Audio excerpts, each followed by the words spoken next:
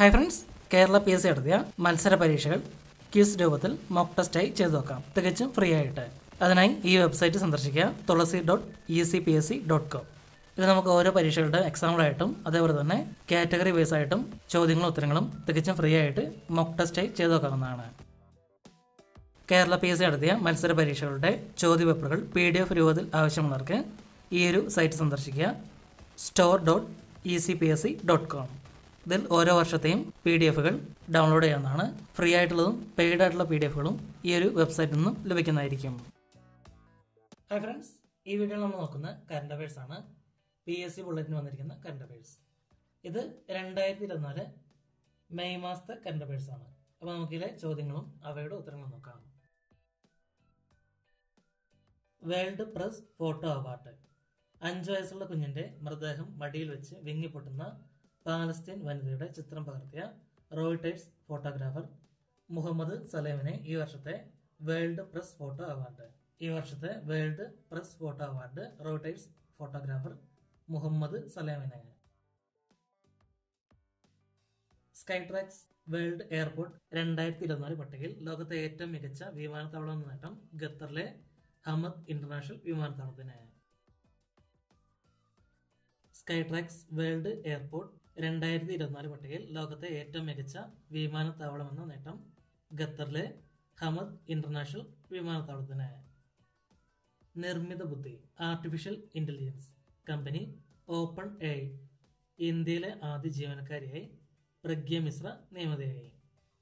നിർമ്മിത ബുദ്ധി അഥവാ artificial intelligence company open A I ഇവിടെ ഇന്ത്യയിലെ ആദ്യ ജീവനക്കാരിയായി പ്രഗ്യ മിശ്ര നിയമിതയായി.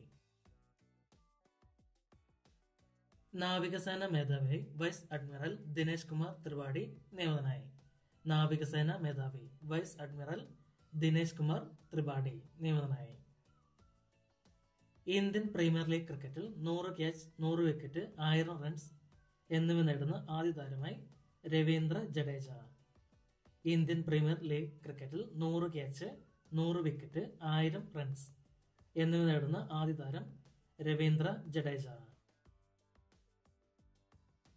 ടൈം വാരിക പുറത്തിറക്കിയ രണ്ടായിരത്തി ഇരുപത്തിനാല് ഏറ്റവും സ്വാധീന ശക്തിയുള്ള നൂറ് പേരുടെ പട്ടികയിൽ ലോകബാങ്ക് അധ്യക്ഷൻ അജയ് ബങ്ക ബോളിവുഡ് നടി ആലിയ ഭട്ട് ഗുസ്തി താരം സാക്ഷി മാലിക് മൈക്രോസോഫ്റ്റ് സിഇഒ സത്യനാഥല എന്നീ ഭാരതീയർ ഇടം പിടിച്ചു. ടൈം വാരിക പുറത്തിറക്കിയ രണ്ടായിരത്തി ഇരുപത്തിനാല് ഏറ്റവും സ്വാധീന ശക്തിയുള്ള നൂറ് പേരുടെ പട്ടികയിൽ ലോകബാങ്ക് അധ്യക്ഷൻ അജയ് ബങ്ക ബോളിവുഡ് നടി ആലിയ ഭട്ട് ഗുസ്തി താരം സാക്ഷി മാലിക് മൈക്രോസോഫ്റ്റ് സിഇഒ സത്യനാഥല എന്നീ ഭാരതീയർ ഇടം പിടിച്ചു. ടെന്നീസ് സൂപ്പർ താരം നൊവാക് ജോക്കോവിച്ച് ബാഴ്സലോണ വനിതാ ഫുട്ബോളർ താരം ഐറ്റാന ബോൺമാറ്റി എന്നിവർക്ക് ഈ വർഷത്തെ ലോറസ് പുരസ്കാരം. ഈ വർഷത്തെ ലോറസ് പുരസ്കാരം ടെന്നീസ് സൂപ്പർ താരം നൊവാക് ജോക്കോവിച്ച് ബാഴ്സലോണ വനിതാ ഫുട്ബോൾ താരം ഐറ്റാന ബോൺമാറ്റി എന്നിവർക്ക്. ലോക ടെന്നീസ് ഒന്നാം റാങ്കിൽ റാങ്കിലെത്തുന്ന ഏറ്റവും പ്രായം കൂടിയ കളിക്കാരനാണ് നൊവക് ജോക്കോവിച്ച്. ലോക ടെന്നീസ് ഒന്നാം റാങ്കിൽ റാങ്കിലെത്തുന്ന ഏറ്റവും പ്രായം കൂടിയ കളിക്കാരനാണ് നൊവക് ജോക്കോവിച്ച്. എയർ ഇന്ത്യയുടെ ജനപ്രിയ വിമാനങ്ങളായിരുന്ന ബോയിങ് എഴുന്നൂറ്റി നാൽപ്പത്തി ഏഴ് സർവീസുകൾ അവസാനിപ്പിച്ചു. എയർ ഇന്ത്യയുടെ ജനപ്രിയ വിമാനങ്ങളായിരുന്ന ബോയിങ് എഴുന്നൂറ്റി നാൽപ്പത്തി ഏഴ് സർവീസുകൾ അവസാനിപ്പിച്ചു. കേരള ഹൈക്കോടതി അഡീഷണൽ ജഡ്ജിയായി എം പി സ്നേഹലത നിയമിതയായി. കേരള ഹൈക്കോടതി additional judge M P Snehalatha. ഇന്ത്യയിലെ ആദ്യ വനിത ബ്രിട്ടീഷ് ഹൈക്കമ്മീഷണറായി ലിൻഡി കാമറൂൺ നിയമിതനായി. ഇന്ത്യയിലെ ആദ്യ വനിത British high commissioner Lindy Cameron. എഴുപത് വർഷം പഴക്കമുള്ള വട്ടെഴുത്ത് ലിഖിതം പാലക്കാട് ജില്ലയിൽ കണ്ടെത്തി. എഴുപത് വർഷം പഴക്കമുള്ള വട്ടെഴുത്ത് ലിഖിതം പാലക്കാട് ജില്ലയിലാണ് കണ്ടെത്തിയത്. ഡോക്ടർ സുകുമാർ അഴീക്കോട് തത്വമസി പുരസ്കാരം കവിയും കഥാകൃത്തുമായ സജിത അനിലിന്. ഡോക്ടർ സുകുമാർ അഴീക്കോട് തത്വമസി പുരസ്കാരം കവിയും കഥാകൃത്തുമായ സജിത അനിലിന്. ദിവ്യപ്രഭ കനി കുസൃതി എന്നീ മലയാളികൾ അഭിനയിച്ച all we imagine as light Cannes film festival മുപ്പത് വർഷത്തിന് ശേഷം മികച്ച ചിത്രത്തിനുള്ള പാംഡിയോർ പുരസ്കാരത്തിന് മത്സരിക്കുന്ന ഇന്ത്യൻ സിനിമയാണ്. ദിവ്യപ്രഭ കനിക്കുസറി എന്നീ മലയാളികൾ അഭിനയിച്ച all we imagine as light Cannes film ഫെസ്റ്റിവലിൽ മുപ്പത് വർഷത്തിന് ശേഷം മികച്ച ചിത്രത്തിനുള്ള പാംഡിയോർ പുരസ്കാരത്തിന് മത്സരിക്കുന്ന ഇന്ത്യൻ സിനിമയാണ്. വ്യാഴത്തിന്റെ ഉപഗ്രഹമായ യൂറോപ്പയിൽ ജീവന്റെ സാധ്യത കണ്ടെത്താനായി നാസ ഒക്ടോബറിൽ ക്ലിപ്പർ എന്ന പേടകം വിക്ഷേപിക്കും. വ്യാഴത്തിന്റെ ഉപഗ്രഹമായ യൂറോപ്പയിൽ ജീവന്റെ സാധ്യത കണ്ടെത്തുന്നതിനായി നാസ ഒക്ടോബറിൽ ക്ലിപ്പർ എന്ന പേടകം വിക്ഷേപിക്കും. ഫോബ്സ് ബില്യണേഴ്സ് ലിസ്റ്റ് രണ്ടായിരത്തി ഇരുപത്തിനാല് പ്രകാരം ഇന്ത്യയിലെ ഏറ്റവും പ്രായം കുറഞ്ഞ ശതകോടീശ്വരനാണ് ബ്രോക്കറേജ് സ്ഥാപനമായ സിറോദയുടെ സഹസ്ഥാപകൻ Nikhil Kamath.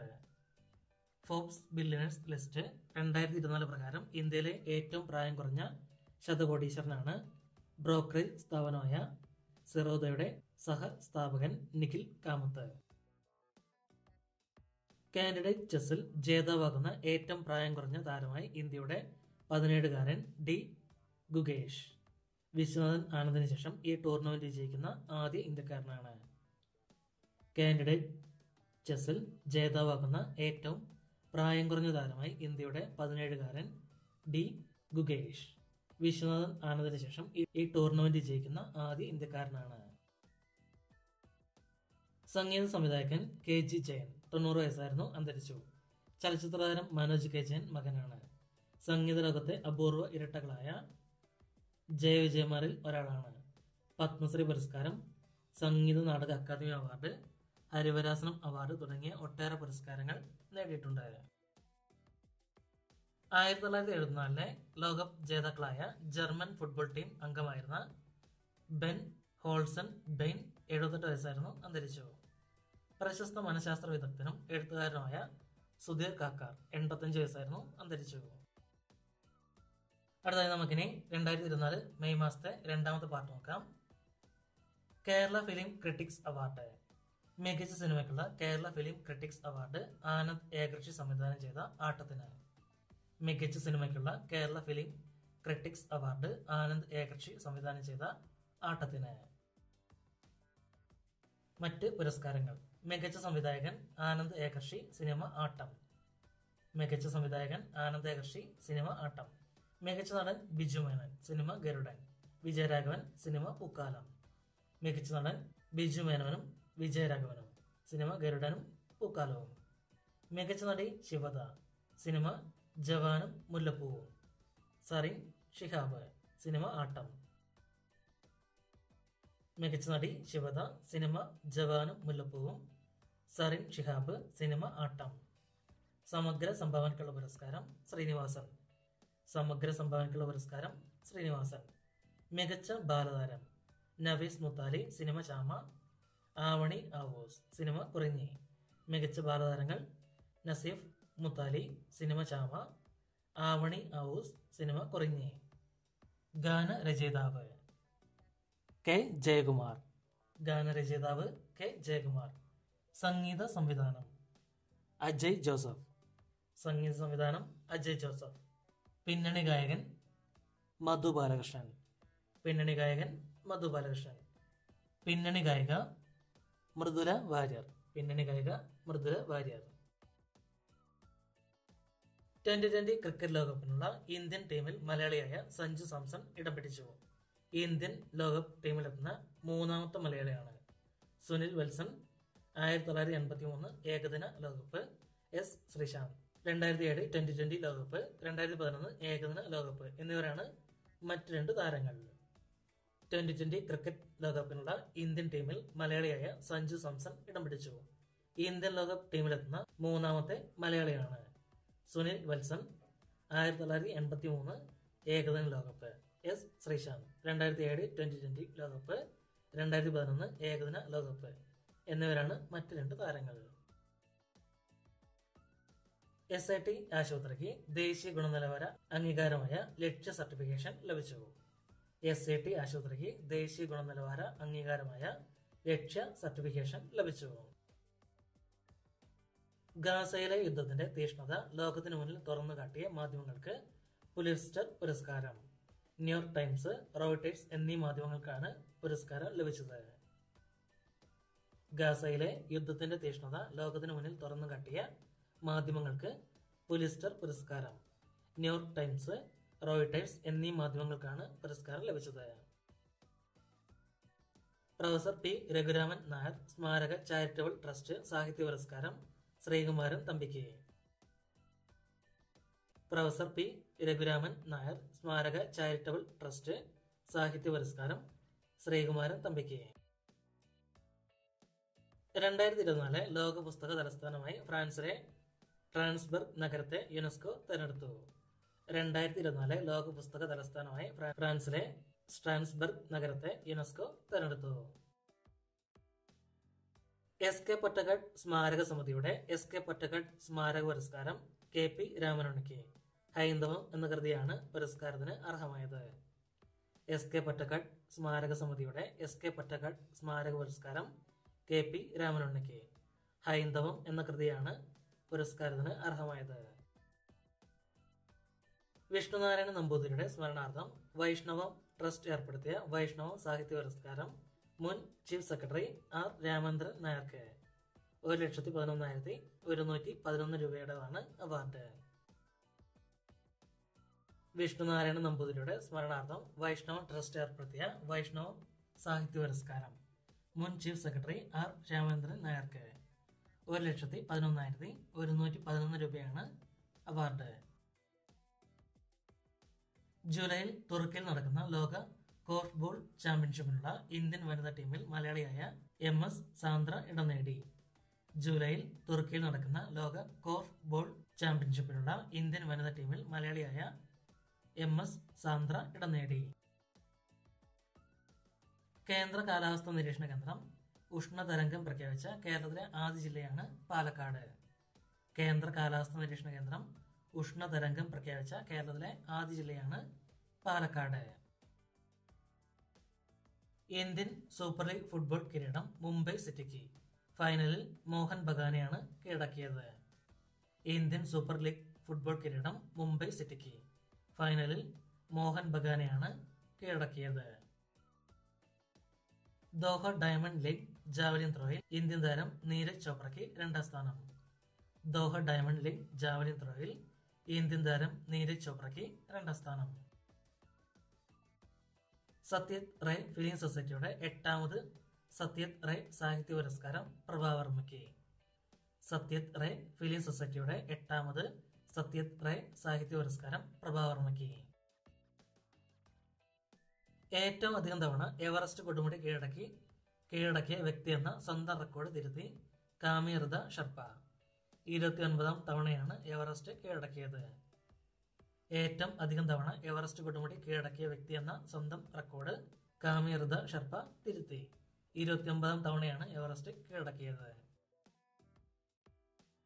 ഇന്ത്യയുടെ സഹായത്തോടെ നവീകരിക്കുന്ന ശ്രീലങ്കയിലെ തുറമുഖമാണ് കാങ്കസന്തുറ തുറമുഖം. ഇന്ത്യയുടെ സഹായത്തോടെ നവീകരിക്കുന്ന ശ്രീലങ്കയിലെ തുറമുഖമാണ് കാങ്കസന്തുറ തുറമുഖം. രണ്ടായിരത്തി ഇരുപത്തിയഞ്ചിലെ ലോക ജൂനിയർ ബാഡ്മിന്റൺ ചാമ്പ്യൻഷിപ്പിന് ഇന്ത്യ വേദിയാക്കും അസമിലെ ഗുവാഹട്ടിയിൽ ആണ് മത്സരങ്ങൾ.